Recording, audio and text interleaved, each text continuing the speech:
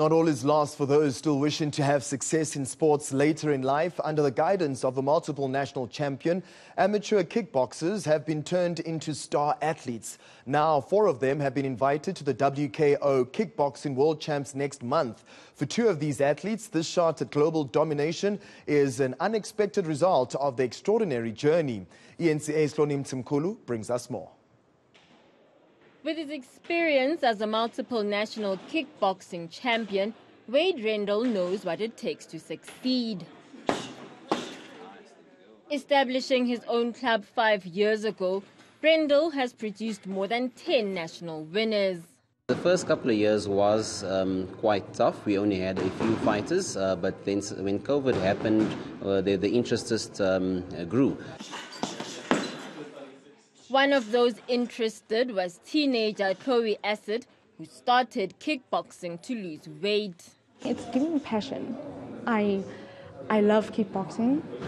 I don't back down. I just want to keep going on. It makes me feel alive. Acid's weight loss journey has turned into national titles and an opportunity to wear the green and gold. It's a feat the 16 year old didn't expect, but one that she and others at the club embrace. Also, a lot of focus for me because I struggled to focus on my work and stuff.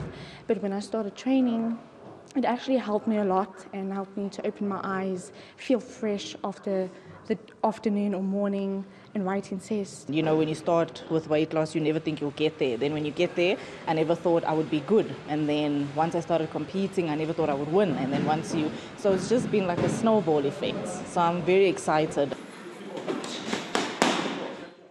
33-year-old Goldstone found unlikely gains in kickboxing when she was well into her 20s.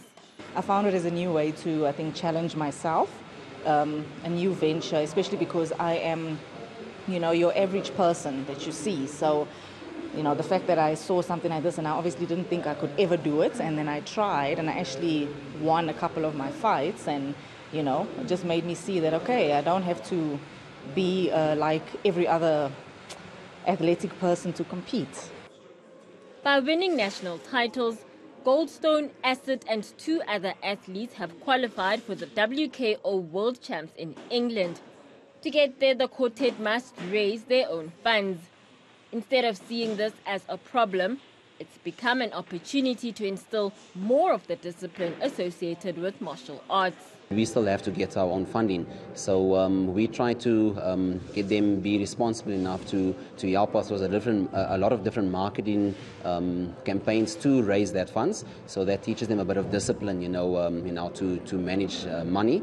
Often sport is about starting young and achieving success after years of grinding. But as athletes from the Triple Threat Kickboxing Club prepare for next month's World Champs, they are proof that sometimes sporting success is possible for late bloomers or those who fall into it by chance. Hloni Mtimkulu, Reimsig.